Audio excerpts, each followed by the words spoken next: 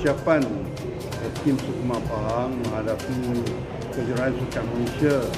2020 ini. Kita sebenarnya di bawah jurulatih saudara Fazli Mansur uh, akan pastikan anak buah kita berlatih berdua-dua sebab target perang pada kali ini 5 penyaman kita barat lebih tapi 5 penyaman target